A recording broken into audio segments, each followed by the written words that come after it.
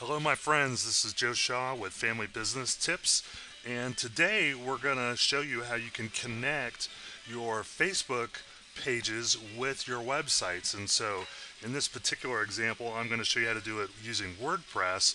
But what you'll see is uh, right here on the right hand side of the page, you know, I have a great way for people to connect with my brand new Facebook page that I've set up. And so, um, the the reason you want to be able to do things like this is you know if you're if you're hosting a website you're putting all your content out there and and that's great.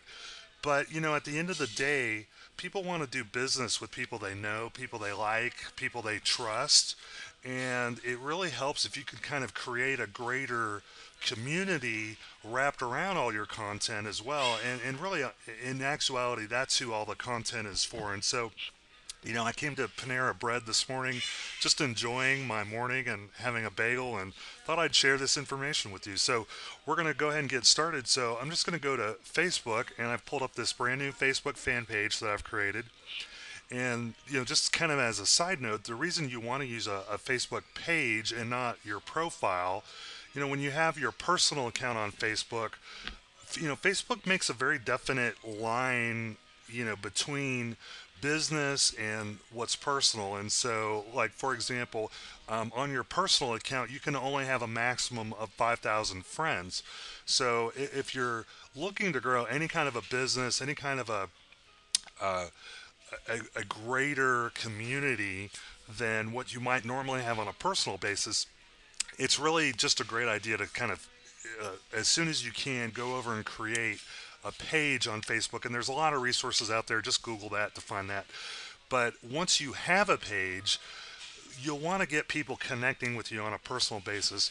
And so the way you do that is you come over here to the edit page button. And so you just go to your page and you're going to edit the page. But before I do that, I'm just going to copy this URL up here. And then I'm going to click edit page. And what it's going to do is going to take me to the right place. So this is where I can edit some different information, but what I'm particularly looking for right now is marketing, this marketing section on the left. And once I go there, in marketing, you're going to see a couple of different options, but one of them is add a like box to your website. And so we're going to go ahead and click on that. And what this is going to do for us, this is going to pull us up basically it'll give us a little area where we can kind of customize how this box is going to show up. And so some of the things you'll see here is uh, the Facebook page URL. So this is the page we, we want people to connect to on Facebook. Remember I copied that URL just a moment ago so it would go to my page. And so I've got that link right there. You can set the width. That's how wide in terms of pixels that is. If it's you know just look at it. When you put it on your site if it's too too wide just narrow this up a little bit. Just make your best guess. And then uh, you can change the colors. Um, show faces. Now let me go down and show you that. So if we were to show the faces that's these faces down here and you can say, you know, no, don't show my how many faces I have. Just show my feed for right now. And so I like to show the faces. I just think it gives a, a warmer, more connecting feel to your website, and I think that's going to be good. And then show the header is just this thing up here. Find us on Facebook. And so once you've got it all the way you like it, you could say, hey, I don't want to show my stream, and I'm just going to do it just like that. Once you got it the way you want it, you just click Get Code All right, and this is sort of like almost like when you embed a, a video onto your site or whatever.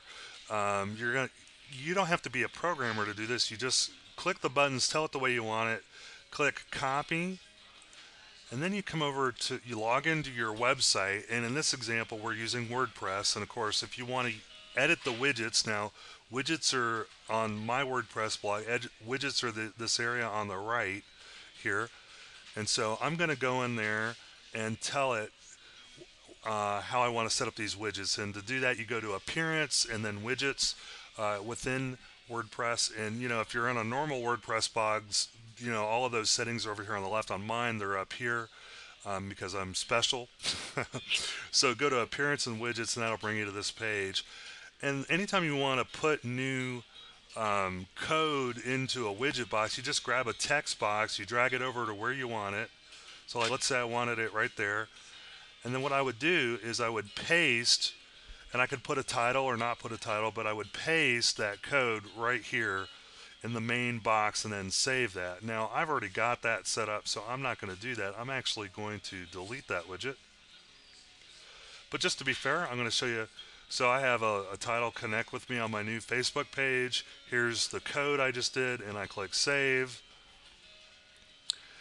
And that is how you get the Facebook Connect widget right there in your WordPress area so you can have just really a great way for people to connect with you on Facebook, leave comments, um, and, and, actually you know grow to know you and like you. And if you're watching this video I'd love for you to come by and connect with me on my page and send me a shout out say hey how are you doing?